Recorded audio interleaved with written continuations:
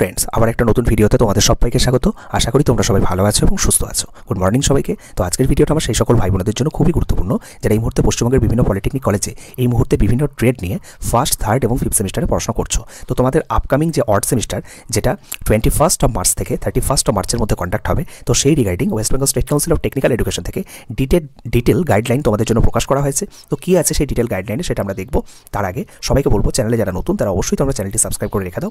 পরবর্তীতে technical education related আপডেটগুলো পাওয়ার জন্য। আর যারা এখনও পর্যন্ত আমার অফিসিয়াল হোয়াটসঅ্যাপ এবং টেলিগ্রাম গ্রুপে জয়েন হয়নি, তাদেরকে বলব এই ভিডিও ডেসক্রিপশনে দেওয়া লিঙ্ক থেকে অবশ্যই তোমরা সেই গ্রুপে জয়েন হয়ে যাও। তো সরাসরি চলে যাব আমরা সেই নোটিশে এই নোটিশটা অ্যাকচুয়ালি দেখো ডেট যদি তোমরা দেখো যে তেরো তিন দু হাজার তেইশে অ্যাকচুয়ালি প্রকাশ করা হয়েছে স্টেট কাউন্সিল থেকে, যে নোটিশটা কিন্তু তোমরা মানে কলেজগুলোকে পাঠানো হয়েছে, তো এটা আমার কাছে অ্যাভেলেবেল হয়েছে মানে আমি পেয়েছি গতকাল রাত্রিবেলায় বাট গতকাল রাত্রিবেলায় আমি অ্যাভেলেবেল না থাকার জন্য ভিডিওটা বানাতে পারিনি, তাই আজকে বানাচ্ছি। তো দু তিন দিন আগে কিন্তু তোমাদের একটা ওয়ার্নিং নোটিশ কিন্তু তোমাদের সাথে আমি শেয়ার করেছিলাম, যেটা নভেম্বর দু হাজার বাইশে তোমাদের যখন সেকেন্ড এবং ফোর্থ সেমিস্টারের এক্সাম যখন কন্ডাক্ট হচ্ছিল, তখন স্টেট কাউন্সিল থেকে পাবলিশ করা হয়েছিল। তো তার সাথে কিছুটা পয়েন্ট অ্যাড করে বা বলতে পারো মডিফাইড একটা নোটিশ কিন্তু স্টেট কাউন্সিল থেকে পাবলিশ করা হয়েছে, তোমাদের যে আপকামিং যে এক্সাম তার জন্য। তো কী কী সেই স্ট্রিক্ট জিনিস এখানে ফলো করার জন্য বলা হয়েছে সেটা একটু দেখে নাও। দেখো, এক নম্বরে বলা আছে যে students with mobile phones are strictly prohibited from the entering the exam examination centre strict mobile checking to be done at the main gate of each examination centre under the supervision of deployed police girls student are to be tapped and checked for mobile phones only by lady staff teachers invigilators other than center in charge all other teaching and non-teaching staff are prohibited from entering the examination premises uh, with mobile phone তাহলে যে সমস্ত স্টুডেন্টরা হচ্ছে পরীক্ষা দিতে যাবে তাদের পরীক্ষা হলে ঢোকার আগে কিন্তু পুলিশের সামনে প্রপারলি চেক করা হবে ছেলেদের জন্য আলাদা করে স্টাফ থাকবে, মেয়েদের জন্য কিন্তু আলাদা করে লেডি স্টাফ থাকবে, তাদের সামনে কিন্তু মানে পুলিশের সামনে কিন্তু তাদের চেক করা হবে। আরেকটা জিনিস এখানে বলে দেওয়া আছে, দেখো যে সেন্টার ইন চার্জ যিনি থাকবেন, সে ছাড়া বাকি যত স্টিচিং এবং নন টিচিং স্টাফ আছে, তাদেরকে কিন্তু প্রিমিসেসের মধ্যে কিন্তু মোবাইল ইউজ করা যাবে না বা তাদেরকে কিন্তু মোবাইল থেকে বিরত থাকার জন্য বলা হয়েছে। নাম্বার টু বলেছে to prevent entry the examination centres with mobile phone the centre in charge is requested to inform the students in advance that the students will not enter the examination centre with mobile phone তাহলে যে স্টুডেন্টরা যাতে mobile phone নিয়ে যাতে exam হলে না ঢোকে, তার জন্য সেন্টার ইনচার্জ যে থাকবে, সে কিন্তু অ্যাডভান্স অর্থাৎ আগেই কিন্তু, পরীক্ষা শুরু হওয়ার আগে কিন্তু সেই ব্যাপারটা স্টুডেন্টদেরকে জানিয়ে দেবে। In case any student found carrying mobile phone or any other communication device inside the examination hall যদি কোনো স্টুডেন্ট পরীক্ষা চলাকালীন বা পরীক্ষা হলে যদি যে কোনো কমিউনিকেশন ডিভাইস বা মোবাইল নিয়ে ঢোকে the same will be confiscated and the student must be marked as RA তাকে কিন্তু আরে করে দেওয়া হবে। Also and FIR has to be lodged as at the local police station against the student তো এটা অ্যাকচুয়ালি মানে কী বলব অফিসিয়ালি বলা হয়েছে মানে আরে আরেটাই করা হয় অ্যাকচুয়ালি তোমার ওই এফআইআর ব্যাপারটা যেটা বলা হয়েছে, সেটা নর্মালি হয় না ওকে তিন নম্বর পয়েন্টটা যেটা বলা হয়েছে, দেখো if any student is caught entering the examination centre with a mobile phone then student examination will be cancelled যদি কোনো স্টুডেন্ট এক্সাম চলাকালীন মোবাইল নিয়ে ধরা পড়ো, তাহলে কিন্তু তার এক্সামটা ক্যান্সেল করা হবে। অ্যান্ড তারপরে কি বলেছে, দেখো and the concern concerned student will be debarred from taking the examination for which neither the centre in charge not the council will be responsible এবং তাকে কিন্তু পরীক্ষা থেকে বিরত রাখা হবে বা পরীক্ষা দিতে তাকে মানে অ্যালাউ করা হবে না। এবং এর জন্য কিন্তু সেন্টার ইনচার্জ বা কাউন্সিল কিন্তু কোনোভাবেই রেসপন্সিবল থাকবে না। চার নম্বর পয়েন্টটা বলা আছে।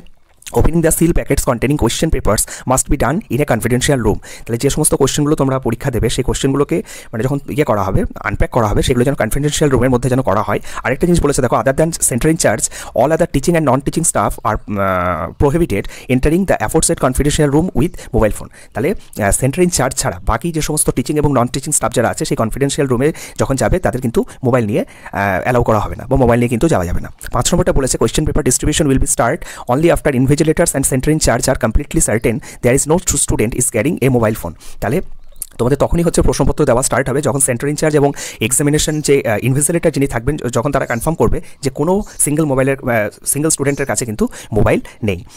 ওকে তখনই তোমাদের কোয়েশ্চেন দেওয়া স্টার্ট হবে। সিক্স নাম্বার পয়েন্টটা কি বলেছে? Concerned teaching and non teaching staff who are engaged in examination work should not leave the examination centre after examination started তো পরীক্ষা চলাকালীন বা পরীক্ষা দেখা গেল তোমার শেষ হওয়ার আগে যারা টিচিং এবং নন টিচিং স্টাফ ওই পরীক্ষার ইয়েতে ইনভলভ থাকবে, তারা কিন্তু কোনোভাবে বেরিয়ে যেতে পারবে না। সাত নম্বর পয়েন্টে কি বলা আছে? দেখো every centre in charge is requested to take immediate action to make students RA report against report against কী জিনিস তো জানো? ঠিক আছে? যে খাতাটা তোমাদের যদি আর এ করে দেওয়া হয়, আমি বলছি শেষে কী হয় actually if any of any one of the below mention reasons occur during the examination তো পরীক্ষা চলাকালীন যদি নিচের কোনো ইয়েগুলো, কোনো একটা স্টুডেন্টের জন্য অ্যাপ্লিকেবল হয় বা কোনো একটা স্টুডেন্টের মধ্যে যদি এই নিচের পয়েন্টগুলো যদি ইয়ে হয় কি বলব?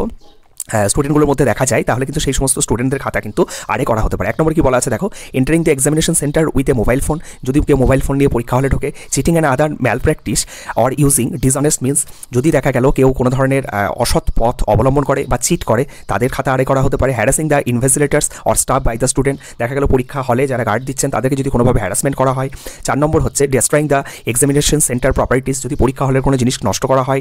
নেক্সট হচ্ছে টিয়ারিং দ্য আনসার স্ক্রিপ্ট যদি আনসার স্ক্রিপ্ট ছিঁড়ে ফেলা হয় strictly taking it uh, examination hall and making any uh, innocent comments on answer answer answer যদি আনসার স্ক্রিপ্টের উপর কোনো ধরনের বাজে মন্তব্য করা হয় ছ নম্বর পয়েন্টটা বলা আছে repeated talking with other students in the examination hall during examination ignoring the warning of the invigilator তো ইনভেজিলেটার ওয়ার্ন করার পরেও যদি দেখা গেল কোনো স্টুডেন্ট মানে পিছনের কোনো স্টুডেন্ট বা পাশের কোনো স্টুডেন্টের সাথে গল্প করে তাহলে কিন্তু তার খাতা আড়ে করে দেওয়া হবে। আট নম্বর পয়েন্ট বলা আছে answer scripts of the students marks as RA must be separately packed at necessary proofs proofs must be attached with the answer scripts of the concern students আচ্ছা যে সমস্ত স্টুডেন্টরা হচ্ছে স্টুডেন্টের খাতা আড়ে করা হবে, তাদেরটা কিন্তু আনসার স্ক্রিপ্ট আলাদাভাবে পাঠানোর জন্য এখানে বলা আছে। Written confession of the RA students must also attached with with the answer scripts আচ্ছা বেশ। And seal packet containing answer scripts we are student of RA students must be sent to the council office এর Karigari Bhavan fourth floor plot number B slash seven action area three Newtown Rajarhat Kolkata সাত লক্ষ একশো ষাট by special messenger with the stipulated time আচ্ছা। তো যে সমস্ত খাতাগুলো আড়ে করা হবে, তাদের খাতাগুলো আলাদা করে পাঠাতে বলা হয়েছে এবং যে কারণে তাকে আড়ে করা হয়েছে সেই কারণটা ওর সঙ্গে অ্যাটাচ করে বা সেই কারণটা মেনশন করে পাঠাতে বলা হয়েছে ন নম্বর পয়েন্টটা বলা হয়েছে in case there is any complain of laws lawlessness, cheating, and other malpractices from any examination center, results of the concerned examination center will be withheld. আচ্ছা যদি কোনো ইয়েতে পরীক্ষা চলাকালীন বা পরীক্ষার পর যদি স্টেট কাউন্সিলের কাছে এরকম ধরনের ইনফরমেশন পৌঁছায় যে কোনো একটা এক্সামিনেশন সেন্টারে চিটিং হয়েছে বা কোনো একটা এক্সামিনেশন সেন্টারে মোবাইল নিয়ে পরীক্ষা দিয়েছে স্টুডেন্টটা তাহলে কিন্তু সেই এক্সামিনেশন সেন্টারের সমস্ত রেজাল্টকে উইথহেল্ড করে দেওয়া হবে। উইথহেল্ড কথাটার অর্থ হলো আটকে দেওয়া হবে, ঠিক আছে? তাদের রেজাল্ট কিন্তু কোনোভাবেই কিন্তু মানে অন্যান্য সেন্টারের যেরকম রেজাল্ট যেরকম ইয়ে হয় বা ফ্রেশ রেজাল্ট এটা হয়, সেই রেজাল্ট কিন্তু হবে না। তাদের রেজাল্ট কিন্তু হোল্ড করে রেখে দেওয়া হবে ওকে আর বাকি এখানে তেমন কিছু নেই। আচ্ছা আরেকটা জিনিস তোমাদের বলে দিয়ে যে আরের ব্যাপারটা যেটা বললাম, তো আরে মানে হচ্ছে রিপোর্ট রিপোর্ট এগেনস্ট তো যে যে কারণে তোমাদের খাতা আরে কথা করা হতে পারে, সেটা আশা করি তোমরা বুঝে গেলে। তো এটা কি করা হয় যে আরে যাদের খাতা করা হয়, তো তাদেরকে হচ্ছে যখন তোমাদের রেজাল্ট ধরো পাবলিশ হবে মানে তোমরা এখন এই মুহূর্তে ফার্স্ট থার্ড এবং ফিফথ সেমিস্টার আছো, তো তোমাদের রেজাল্ট যখন পাবলিশ করা হবে, তার আগে হচ্ছে একটা হিয়ারিংয়ে ডেট হয়। কারিগরি ভবনে তোমাদের যাদের খাতা আরে করা হয়েছে, তো উইথ কলেজ রিপ্রেজেন্টেটিভ বাবা মাকে যেতে হয় না, কিন্তু কলেজ রিপ্রেজেন্টেটিভ তোমাদেরকে কিন্তু ওখানে যেতে হয় এবং কী কারণে তোমার খাতা আরে করা হয়েছিল, কী কারণে তুমি কাজটা করেছিলে সেটা কিন্তু তাদেরকে জবাবদিহি করতে হয়। তো তাদের উত্তর যদি তোমার স্যাটিসফ্যাক্টরি যদি তাদের লাগে, তো সেক্ষেত্রে তাকে পাশ করিয়ে দেওয়া হয়। আদারওয়াইজ কিন্তু সে মানে যদি দেখা গেল যে তাদের উত্তর মন মতো যদি না হয়, সেক্ষেত্রে তোমাকে কিন্তু সেই সাবজেক্টে সাপ্লি পর্যন্ত দিয়ে দিতে পারে। তো এই ছিল আজকের বিষয়। এরপরে যদি আর কোনো ডাউটস থাকে ডেফিনেটলি ভিডিও কমেন্ট সেকশনে তোমরা কমেন্ট করো। থ্যাংক ইউ সকলকে।